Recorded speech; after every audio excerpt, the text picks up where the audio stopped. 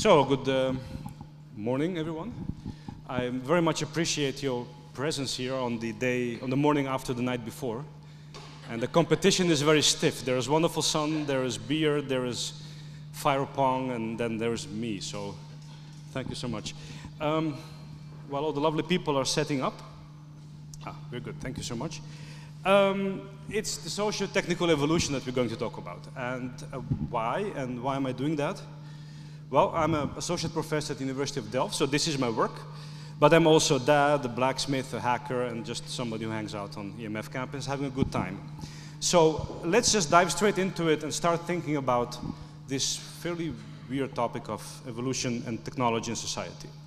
So it all started, of course, late 19th century. And Charles Darwin, you all know him, um, basically said, well, let uh, live, very multiply, let the weakest the strongest live and the weakest die. And the interesting thing about this is that Darwin had absolutely no idea about genes, had no, about, no idea about informational nature of evolution. It was really just basically Darwin sort of running around and looking at pigeons. Right? And pigeons are pretty awesome. They, they can cover entire cities in crap. That's better than most people can. Um, so that's, that's interesting. So how does one even go from studying pigeons to thinking about the evolution of society and the evolution of these large-scale socio-technical systems of which we are part of. So let's just kind of unpack that a little bit and have a bit of a discussion. And if you have any questions, feel free to just raise hands and don't throw things. At least let me know you're throwing things so I can duck. Um, so let's make it fairly interactive, okay? So the first thing that I want to point out when we talk about evolution, it's really an algorithm, right? And it's an algorithmic process of replication, variation, and selection. And it's not the answer to the how did we get here. Uh, so it is the, the answer to the how did we get here, not the why are we here question. And some of the things that sort of the creationist, the fundamentalist really get wrong is that they think, well, it's the reason why we're here.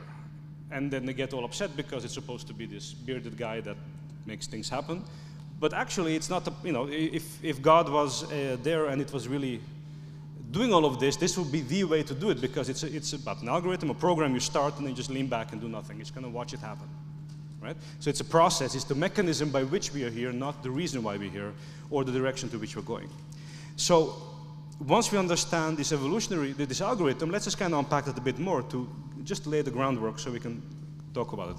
Now, evolution is not teleological, it's not goal-oriented, it doesn't have a grand purpose. If it had, there would be the shark bear octopus, right? Because the shark bear octopus is absolutely awesome and I wish I had one as a pet.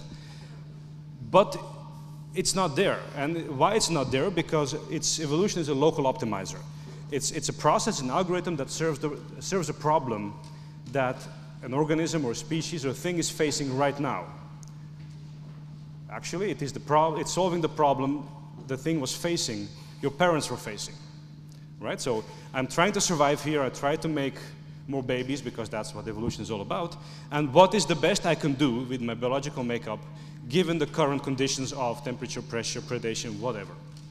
Right? So the other thing to realize is that every living thing is as, as advanced as every other living thing, right? People think, oh, humans are the most advanced race. Well, spiders are pretty awesome too, and so are bacteria, because they've been around much longer and are far more fine-tuned and far more evolved, far more algorithmed out, if you wish, than we are. So it's all on the same frontier of this algorithm, right? So there's no better. There is just more or less suited. Right? So when, when uh, Discovery Channel talks about the ultimate predator, the white shark, that's not so ultimate if you take a white shark, put it in the Sahara Desert, it will be dead in three minutes. So not so awesome then, are you, right? Likewise, if you were the, I don't know, the big lion, the, the ultimate predator of the African desert, stick it into five kilometers water, it's not very optimal, is it? Right? So it's, evolution is about right here, right now, what works. Okay. The other thing about this, uh, this algorithm is that it, it is intractable. Any computer scientists, mathematicians in the room? There you go. So you know about uh, uh, intractability, right? And about an, an non-NP completeness. And that's, this is the ultimate non-NP complete algorithm. And why? Well, because it's the things doing things to other things, reacting to things that have done before and that might be doing in the future, and all of this interacting soup. And that's what makes it really, really difficult. Let me just show you just how badly intractable it really is. So here is, here is us this morning at zero. Yeah? And uh, the point A is now, are you going to listen to this lecture or not? Maybe you're bored, maybe you think I have a stupid t-shirt, so you decide to leave, right? Now, but let's say you decide to stay, which I think is awesome. Now, at, the, at this time, outside the tent is the love of your life, right? But you did not going to, you're not going to make, meet them because you are here.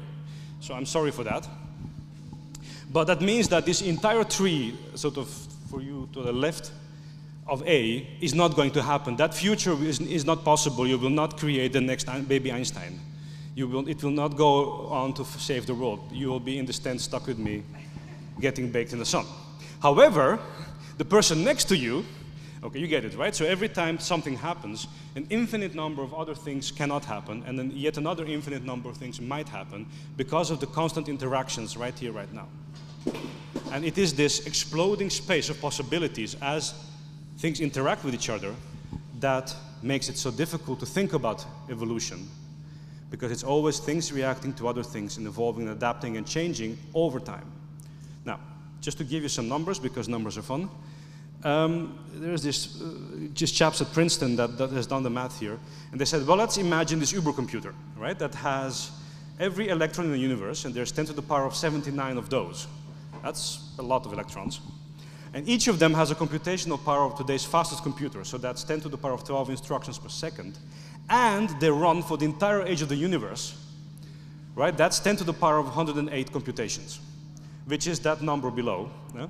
Oh, sorry, and then if you imagine the evolutionary algorithm running for, of 100 things interacting over 100 time steps, the number of possible permutations and pathways that that evolutionary process could have is that number below.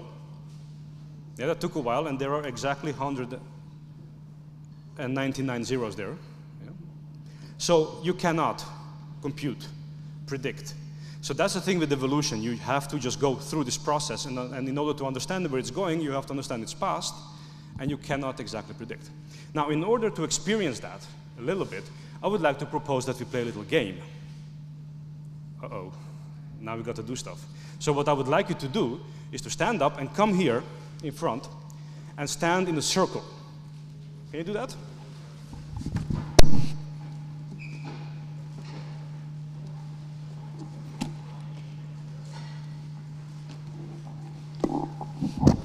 Lovely. So just one big circle, please. And if it gets too busy, then, then don't come because then we're going to. So don't trip because you will be playing a game called Attacker Defender. Now, because of the computer mess up, I don't have my slides on screen, so I'm apologies. So what I want you to do now, are you good? Okay. Just come on, fill up here, fill up here as well, don't be shy. We will play this game called the Attacker Defender game. Yeah? We'll do this slowly, quietly, it's too hot to run around. What you will do is you will pick out two people. Please just look around and just pick two persons, any two persons. Not all the same cute guy or girl, but whatever, yeah? Now, the first person you picked is the defender, like a big shield, right? So I hope you picked a big person. The other one is the bad guy or girl. That's the attacker. Does that make sense? Okay? So defender and attacker. Now you are the target. Yeah? So what I want you to do now, and please do it safely and slowly, move around so that you keep the defender between you and the attacker. Can you do that? Go.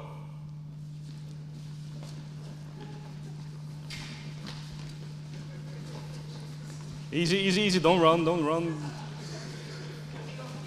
Or if you're running, please make sure you're carrying scissors.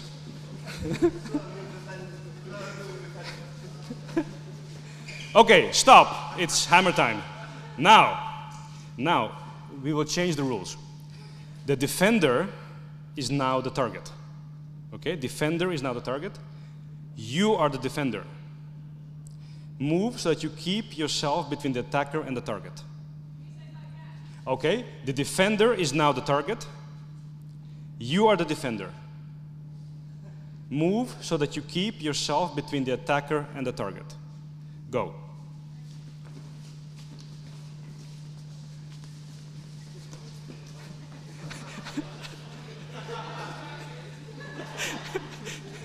Okay, you're absolutely awesome. Thank you so very much. Applause for yourself. Please go back. Okay. Thank you so very much. So, what happened? What was this? Anyone? What was the first state we had? Yes, there was a hand in the back, please.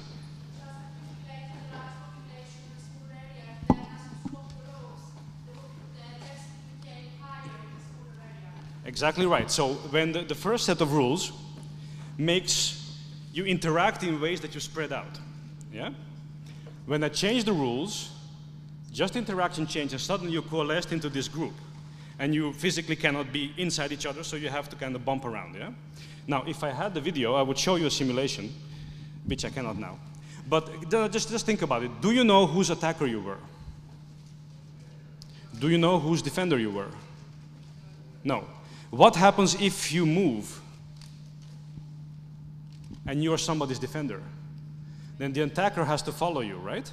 So every single motion by every one of you instantaneously affects absolutely everybody else without you even realizing it.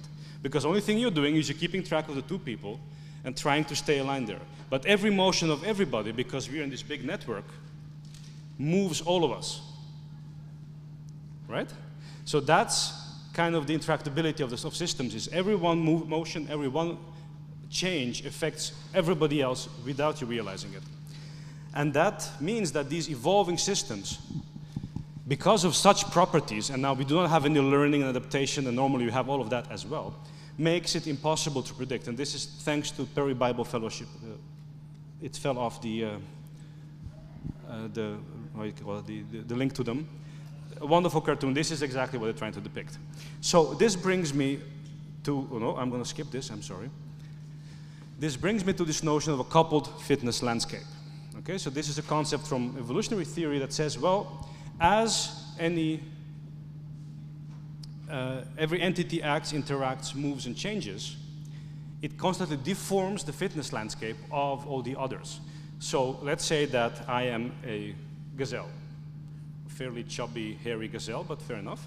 And then there's lions, yeah? And what's my goal in life is to eat grass and make baby gazelles. What's your goal in life? Well, is to eat, eat gazelles like me and make more lions. That's what evolution is about. So it means that if I learn how to run faster, you go hungry and don't get to have any babies, but I get to have, I get to live and have babies. So as my fitness increases, I become more fit adaptable, your fitness decreases. Now, then maybe you say, well, as a bunch of lions, let's figure out how to cooperate and corner this really fat and hairy gazelle that can take really sharp turns and run really hard. As you learn how to cooperate, my fitness goes down because now I'm breakfast and not making any babies. Your fitness goes up. So we have these coupled landscapes of who's doing well, who is doing poorly. And of course, while the lions and gazelles are fighting, the grass is doing its own thing and being more or less eaten. Does that make sense? Which is kind of what happened in the game, right? So you're, as you're moving, you're exposing your, uh, your target, which then it's the fitness decrease. They're more vulnerable, they have to adapt, they change, thus moving the whole system around. Now that's the essence of these fitness landscapes, and this is what drives the interactability of evolution because you're interacting across these spaces. Now, how does evolution work? Well, because of this algorithm of, of transferring inf information across, and it starts in layers. It starts in what we call meat, right? So it's DNA in organisms. Yeah? Now, the thing with DNA, it's a quaternary-based digital information, so it's CATAG, the, the four uh, um, amino acids, and they form, they're basically universal to all living things. And there is this, you know, it's an analog fitness function, so uh, am I fit enough to reproduce? How many kids do I have? The more I have, the more chance of me, them being better. And the physical environment and other things around me affect how good I'm doing. And the result is digital, right? So yes babies, no babies. Now, as, the, as we go through this evolutionary dance, affecting each other, evolving slowly, we find strategies how to deal with things. Now, the human strategy for dealing with life, universe, and everything else is to develop an intelligence and to become generalists. Right? We're not particularly good at anything like having big claws or running really far. We are, however, creating culture because we can tell stories to each other and then we create the system network of minds, language, and meaning through which information now can flow. Now, if I was a buffalo, the only way to teach you something was to have a baby together. Right? And that only works if you're female because, well, otherwise, no babies, yeah? So that restricts the amount of information uh, that can be transferred and it's vertical, it goes across time. However, in culture, because we have this shared space and we all know who this chap is, and I don't even have to explain it to you, right? We can have a horizontal information transfer within a very limited amount of time between the same sexes. Without, there's no need for sexual reproduction. We can just talk to each other. And, you know, like we could have a conversation about Michael Jackson. I assume nobody met Michael Jackson, right? I've never met him. Anybody? No? You will never meet him again, right? Unfortunately. Yet we could spend the rest of the day talking about it. That's kind of weird, right? How come that we can have this access to this shared information space without actual physical experience? And that's what culture is all about, about enabling us to do stuff together. Now, what makes it even more interesting is that what is fit, what is adjusted, what is, what is good in culture is reflexive. It's we decide what is okay. Right? Buffalo don't get to decide that it's not okay for lions to eat them. Yeah, that they just have, they have no choice. Communities can decide what are appropriate rules of behavior and what means to be successful or not. So it's a reflexive feedback process. And as I said, it goes both horizontal in time, so within five minutes, and it can be stored and replicated over time. So that's interesting, but of course that whole cultural thing is embedded in meat, right? I'm a meat-based organism. I walk around, I sweat, I have blood, all of those things. Now on top of that, being at the technology festival, there is the technological layer. Now, there are people who argue that temes, as units of technological evolution, are a thing and if that's true, then what you're looking at is a smartphone holding his private parts. Right? So basically, people argue that this technology using us to make more of itself. So we are the sexual reproductive organs of technology. Right? So, I mean, I am, I'm currently using here, let's do some commercials, the latest OnePlus 3 telephone because I think it's awesome. My wife has the previous version because she doesn't care right? So I'm actually actively reproducing the Oppo 3 because now I'm also advertising it as well. So because of that, there might be more sales.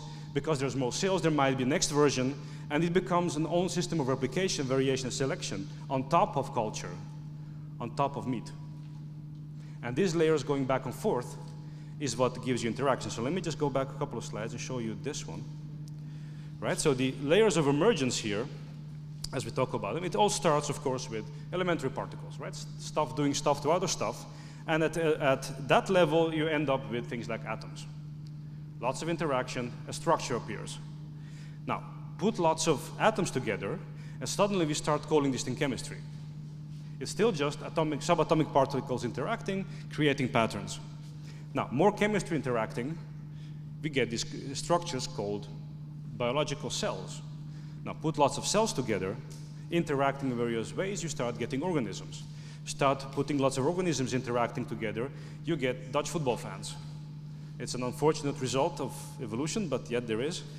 Um, so these layers of embeddedness is what drives the evolution of these systems, okay? Now, as we go through time and space, as these nested interactors of meat, culture, technology, adapting and changing and learning, experiencing the external environment, we go through these cycles um, that uh, Holling has identified through these four phases. When you, let's say, imagine there is a fr freshly plowed field. Right? There's nothing there, just soil. What happens slowly is the, what's so-called exploration. Life emerges, there's seeds in the ground, there's energy coming in, and pioneer plants come up, right? It's the, the brambles, the, the, the um, how you call them, the prickly things. Um, please help me. The nasty stuff that gets you all red if you prick. Nettles, thank you, yes, nettles. Nettles are exactly the kinds of plants that just collinate. They create structure. There's literally physical structure there that captures the energy. As it captures the energy, information is being processed, more nettles are being made uh, this energy starts getting conserved. You start getting brushes, you start uh, uh shrubs, you slowly start getting trees that capture even more energy, and they calcify and ossify, become strong and static. Think about societies, right? You started Mad Max world, slowly there's organization, there's structure, suddenly Catholic Church, and governments, and organizations, and Brexit and stuff. So systems are all organized, tight. Now, what happens when systems get over-organized and over-static? They cannot resist external change and they break. This is your forest fire that suddenly releases the energy that's stored in these systems. They then have to readapt, reorganize, and the cycle starts again. Now keep in mind, all of this is biogeochemical, socio-technical, right? So it's things, planet Earth, people, technology, all wrapped up in one, adapting and learning and changing. Now all of these things happen at short scales, but also at very long scales, right? Societies rise and fall, collapse, reorganize, and grow again. To give you an example, here's some nestedness in time and population. So you can see the fads over there, right? So your little internet memes. You'll have things like values that slowly adapt and change as they're selected in or out. We, you know, we used to think it was a great idea to have women not to vote. Well, thankfully we decided that's a bad idea. We don't do that anymore. Society changes and adapts as a result of that. We will hopefully learn that maybe racism is a bad thing to have and we will one, one day drop it as a society. And of course, because you're dealing with six billion people over long periods of time, these things take time. So you see the traditions in the decades and the billions of people. Right? And again, this is all nested within the biological time scale, which is even slower. I mean, if you think about it, that we left Africa some 40 to 100,000 years ago. That's about 2,000 generations ago. Your average bacterium does that in two days. Right? So, in biological terms, we just left Africa. It was like yesterday. So in many ways, biologically, we're very ancient, yet our culture is much, much faster. So that gives rise to this lot of societal problems because you have this nestedness and what's called pace layering or shearing layers that uh, Stewart Brand talks about this. So on the bottom line, you have bottom layer, there is nature, you know, rocks, biology that very slowly changes. It, it ticks at a very different clock. On top of it, there's culture, right? Catholic Church, favorite thing to bash has been around for more than 2,000 years and has no plans of leaving anytime soon. So it's a big organization, sort of societal structure that very slowly adapts. On top of it, there's governance. How do we get organized? Nation states come and go. But as they're so on top of that, you have your infrastructure, so that are, are cables, our roads, our IT networks, all of that stuff. Commerce, quick exchanges on top of it, and then things like fashion and fads on top of it. Now, as these things are moving and changing, they're literally dragging on the lower layer. See what's happening now with, let's say, the file sharing and the slowly changing legal regimes that are constantly trying to limit it. While at the same time, we're inventing better and better ways to share files more and more anonymously because we think it's a cool thing to do. So that's slowly dragging onto, onto the technology, it's slowly dragging on the infrastructure. It will eventually slowly drag on the Catholic Church as well when Pope has a Tor exit node, that's, that's how we know we won. But that'll take a while. Yeah? An example that you can use, use to think is like uh, a house. So that's the other image. You have a site, so the physical layer is there. You have your infrastructure of the house, the walls that are fairly static. You don't change that very quickly. But things like the, uh, the services in the house, the space plan, you can fairly easily remodel, and you can move the furniture any day if you want. Yeah? Again, remember, these things are embedded biogeotechnical systems, so it's technology within culture, within biology. Now, why evolution and why socio-technical?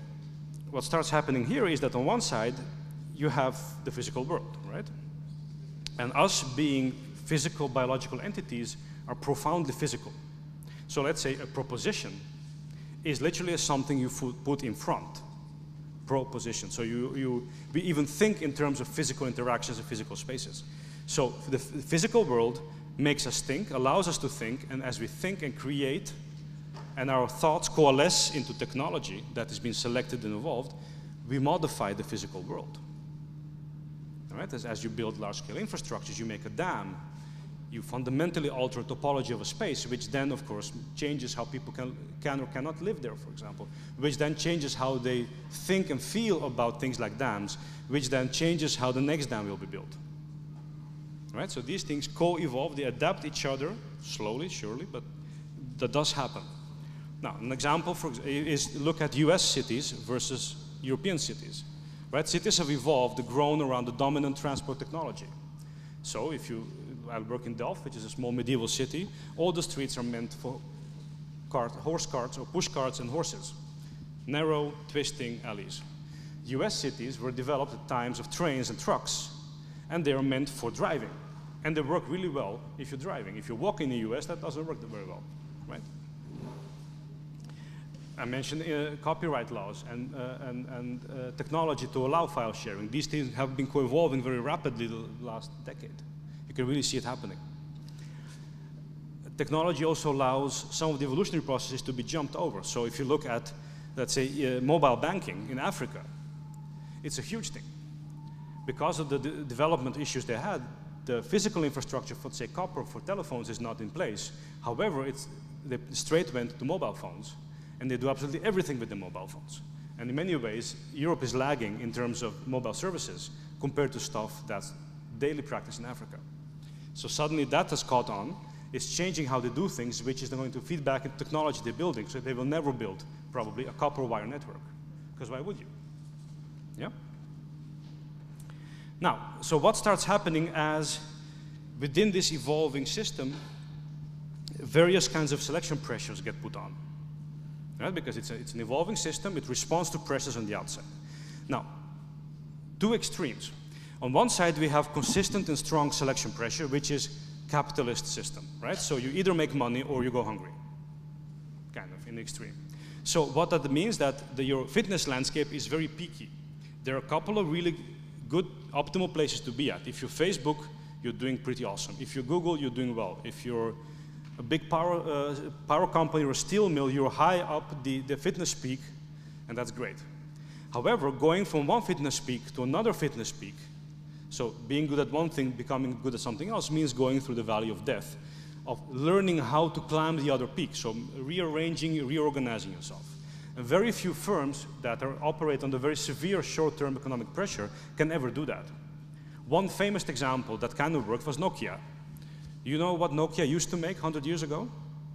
Anyone? Tires and rubber boots. Tires and rubber boots. There were, there were, if you had Nokia, you were, you were fitted because you had boots up to there, right? And they managed to reorganize and become a telecom company that then did not, was not able to make the next move to smartphones and now is bought up and chewed up and spit out Microsoft. Okay? So that's interesting. Now, if you, if you see what happens under this strong economic pressure, you know, people are trying to invent yet a better Facebook. Because if you have to make money, you're very limited in what you can do. The other extreme in terms of socio-economic uh, and socio-technical fitness landscape is what's going on here. Most of us can handle economic pressure fairly well. Right? You have to be fairly wealthy to be here. You have to be able to afford a ticket, you have to be able to afford to travel here, you have to be able to afford not to work, to eat, so you can just play around. But for those that have won in that game, you're experiencing inconsistent and weak selection pressure. Right? Because I can stand here, give a lecture, then I can go maybe play with the blacksmiths a little bit, then maybe I'll go watch fire pong, be a generalist, learn a little bit of this, a little bit of that, and I can be fairly okay-ish at things, but I'm okay-ish at many, many, many, many different things. And the valleys between the peaks are very shallow. Does that make sense? Right? So you're able to surf this landscape as a hacker and be able to combine different things and explore things because you're experiencing a different kind of environment than, let's say, a firm that has this very severe, strong selection pressure. Which means that we are behaving in different ways because of that. Does that make sense? Now, so what is that we as a hacker community are really kind of doing this thing? Well, the first thing is that, you know, selection, well, we drive adoption and preservation of technology. So both ways. Look at Awesome Retro, right? Because of continuous efforts, you can play an arcade game that has been around for 30, 40 years in some cases. So suddenly that meme, that or that teme, that technological meme is there. Look at all the efforts to um, bring back emulators, right? There, and there's a service now you can send a file off to the website that will convert it into, uh, put into Atari and give your, uh, um, send you back the song as an MP3. Right? So, so it's keeping it alive. It's making things around that would not be around otherwise. We're also messing with the fitness landscape. Right? If you are working in crypto, for example, and you're creating good cryptography for journalists, suddenly what a journalist could not get away with because of state control now can get away because you're actively uh, modifying and increasing the survival rates. So we're actively messing with what's fit, what's unfit. We are punishing, we, Anonymous goes out and punishes companies that don't like or they go after uh, Scientology, for example, because they're selling lies and they actively attack them and expose them and do things. So they're changing what's okay, what's not okay. And the question is how, how directed and aware are we of these things that we do? The other thing is about, of course, replication. Think about open source. And one of the wonderful things about it is that so extremely allows knowledge transfer. And that's why it's such a radical idea, because the replication is actively encouraged. Uh, things like responsible disclosure, you're just throwing things out there, making sure other people know what's going on, allow them to replicate what you're doing. Things like mods, game mods or whatever, all these events are all about replication and interaction. And then variation. There is this notion that innovation is all about the adjacent possible. Right? So Pokemon, everybody knows about the game, the Pokemon Go, right? How is that thing possible? Well, there is this technology that has, allows us to have a screen. There's a battery technology that has lots of power in a small package. Oh, we have this GPS thing. Oh, we have cameras. Oh, wait, but if I combine these three, four, five things, suddenly something new appears. And now I have traffic jams because people slam brakes because the Pikachu is on the road. Right? Which then, of course, means that it's going to be banned soon because it's causing trouble. So you get all of these interacting waves. Does that make sense? And, you know, just innovating, recombining, you know, there was the previous talk, right, was about having MATLAB, having Raspberry Pi, having all these existing things, and clever recombinations create new things which then can be brought on. And if you look at, look at it, it is exactly what biology is doing. Right? So biologists often say that evolution is more and more variation on less and less themes. Right? So every vertebrate, everything that has a spine, has the same design. Head, forward-facing eyes, four limbs. Now, whether you're a giraffe or a mouse, you're basically the same. It's just kind of stretched out in different interesting directions, adapted to different environments. And if you look at things like the eye, you know, the creationists love to talk about irreducible complexity. Well, if you look at the eye, you find out that all the bits of the eye have been reused somewhere else in the body to do other things, but have been recombined in interesting ways to give new functions, which then allow suddenly yet more things to happen. Now, and what I would like to leave you with is this notion from Daniel Dennett, one of the greatest thinkers alive, I feel, who said that now, for the first time in its billions of years of history, our planet is protected by far-seeing sentinels able to anticipate danger from a distant future, a comet on a collision course or global warming, and devise schemes for doing something about it. The planet has finally grown its own nervous system, us. And I do challenge you to think about this statement later on and to think about what is your role in the evolving adaptive nervous system on the planet that we all are. And with that, I thank you very much and I leave you with a kitten. Oh, Complex Evo is my Twitter handle. And thank you.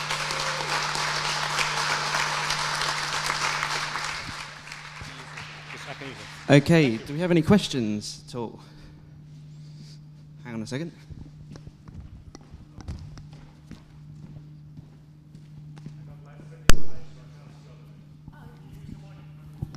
As long as you can hear me. Sorry, Hi, uh, can you hear me? Yes. Okay. Um, what about the biohacking? How does this affect evolution? That's a, that's a, that's a wonderful question. Um, it depends who you talk to. So it is very difficult to be objective about these things. But let me say the two extreme things. You have sort of the hardcore Greenpeace stance that says it is evil, period. Anything that's GMO is bad and should disappear. Okay, I mean, there are, there are reasons why you want, might want to think that. On the other side, people say, well, the planet Earth is one big biological mess, right? I mean, the notion of species is a very leaky notion, and bacteria, ge- bacterial genomes can be found in human DNA, and it's all sort of one big orgy of information transfer. So, in many ways, I would say, well, biohackers are just surfing that wave and just doing what nature does anyway. Just doing it more purposefully and with more sort of more playfulness, maybe, because you can do things that nature normally wouldn't make because they're ineffective or you know, mice don't have to glow green. So it is really just exploring to me. It's really exploring that adjacent possible. Can I make new weird combinations? And personally, I'm, you know, if, if, if done right, I don't see problems with GMOs. If done right, that's a big if, right? There's lots of reasons why you don't want to do things like Monsanto is doing, for example. But that's more about control and pesticide use and food security rather than GMOs. So I don't know if that answers your question a bit, but yeah. Thank you. Yes, please. Ah, there you are. Okay. Yeah, um, thank you for really fascinating talk. Although I disagree with you on many things, like Dennett and your explanation of the success of Pokemon. I think Pokemon is a success is due to the meme, to the Pokemon, not to the technology, because people have done this kind of stuff for 10 years and longer and Right. have not seen that success.